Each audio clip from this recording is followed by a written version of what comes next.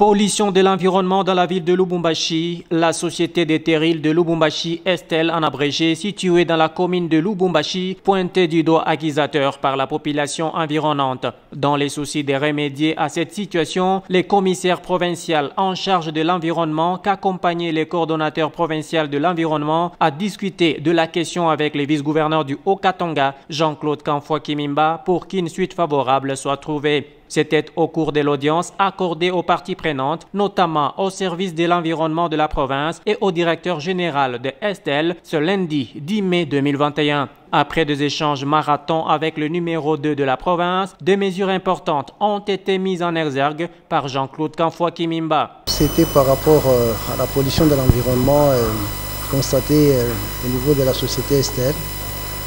Ces derniers temps, chaque soir, il y a des fumées qui sont lâchées dans l'atmosphère que ces fumées incommodent la population.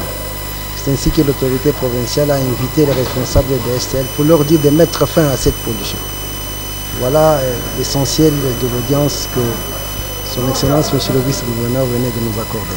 Selon toujours M. Ngouège, les soucis est de protéger la population contre des maladies souvent occasionnées par la fumée que dégage la société Estelle en longueur de journée et de nuit. La pollution, c'est quoi? C'est l'altération de l'environnement.